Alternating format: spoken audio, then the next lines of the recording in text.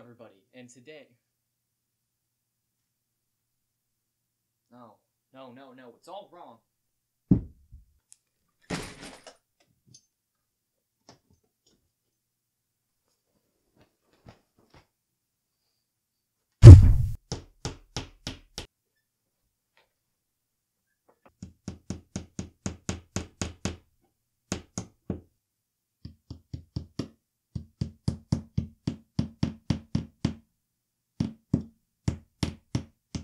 Hello, everybody, and today we'll be lighting our nuts hang. So basically, if you haven't heard by now, Tekashi69 or 69 has just been attacked, kidnapped, and robbed in Brooklyn. Now, I don't really like the guy in any way, but I will say that nobody really deserves to have this happen to them.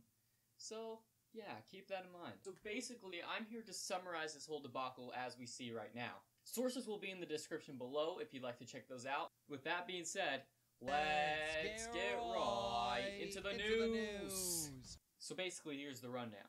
An early Sunday morning, July 22nd, roughly 4:30 a.m.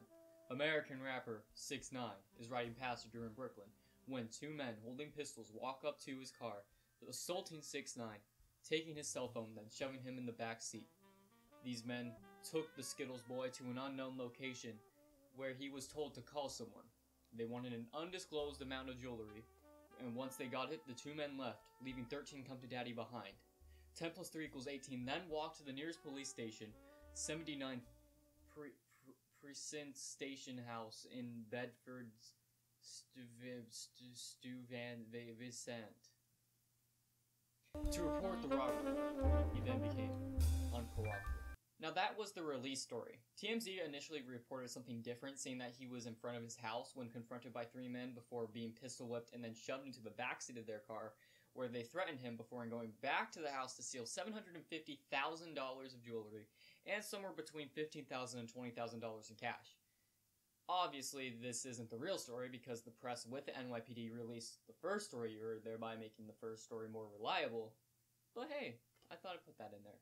There's also a lot of speculation that this was all a publicity stunt to help promote the FEFE song that just happened to release the same day as the kidnapping, and also features equally trash rapper Nicki Minaj. Although it is possible, I think that I'll deny that claim for now, just because there's pictures of 69 her in the hospital that make him look pretty bad, which he always looks bad, but even more so. So in the end, that's the entire story summarized.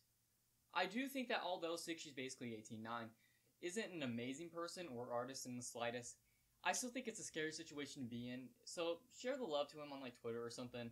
I'd imagine that he isn't doing too well right now, I mean being kidnapped and also of his legal issues and that outfit he wore to court. It makes for a bad combination, so just spread some love that way, you know? We're all humans.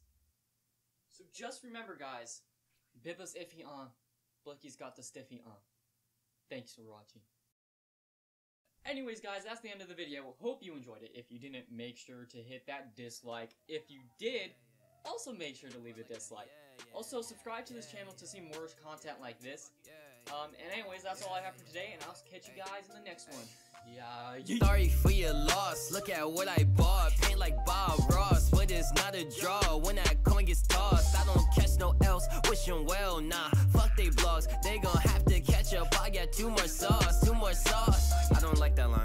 it, I already wrote it. I notice you niggas seem bloated. They gas you up with a letter. You run your city like Bettis.